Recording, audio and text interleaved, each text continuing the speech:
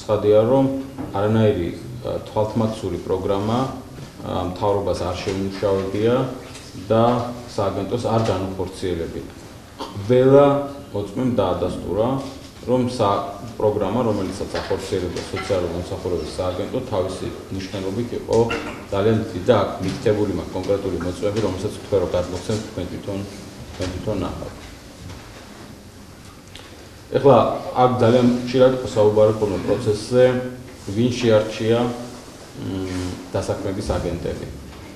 აა აბსოლუტურად სოციალური მომსახურების სააგენტოს ყველა თანამშრომელი, რომელიც სასამართლოზე დაიკითხა, ყველა ადასტურებს, მათ შორის სხვა შორის გუბერნატორებიც ამას ეთახმებიან, რომ ისინი შერჩევა მოხდა ადგილობრივი თვითმმართველობების თვითმმართველობების მიერ და ამასვე ადასტურებენ ადგილობრივი თვითმმართველობების ის წარმომადგენლები, რომლებიც უშუალოდ პროცესზე დაიკითხა.